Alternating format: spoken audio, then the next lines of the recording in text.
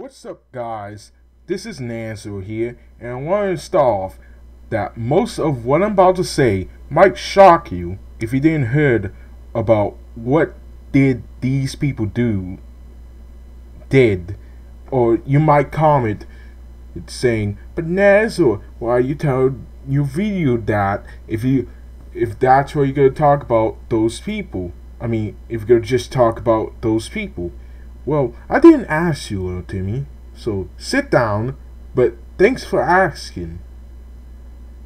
We have gotten to a point where we can barely trust anyone on the internet or believe what they say. As of 2020 and 2021, we have been getting so many people exposed and canceled on the internet. Take me, lad, for example. Before 2020, we thought he was innocent and makes good content. Nope. Turns out he's a creep and pedo. File.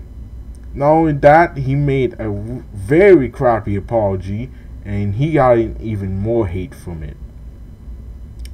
Mando, a legend who made great music during FNAF times, Peter too, and he even tried to defend himself on the internet.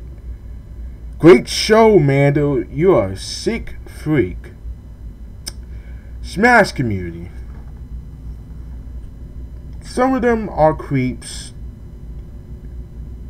and they were in Smash community because of it.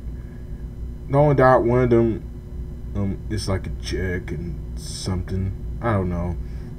You can go search him up. Not only that, Dr. Apis, whatever his name is, or how you spell it. A man who was supposed to end Yandere Dev's entire career by making a better game groomed a 10 year old. A fucking 10 year old. I have no words. It's finding it out. Like, bro, you're supposed to end the evil in your game series. What you did, you joined it. Hope you're happy. Hope you you went through all the time making game and you got caught. Uh, you canceled the game too.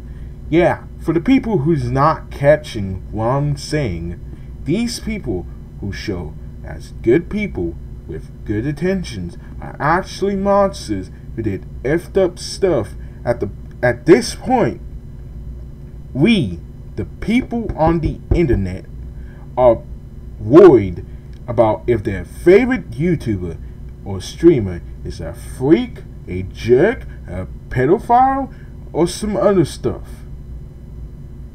Recently, Carson was getting canceled for doing stuff with his 16 year old on Discord, or I think it was text messages, I don't know and dream stains and who are messed up in the head and made up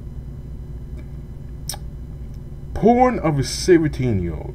I'm literally like, what is wrong with you? You deserve to be executed on the we have gotten to a bad spot on the internet right now, but that's not what scares YouTubers the most. It's cancer culture. That's what scares them the most.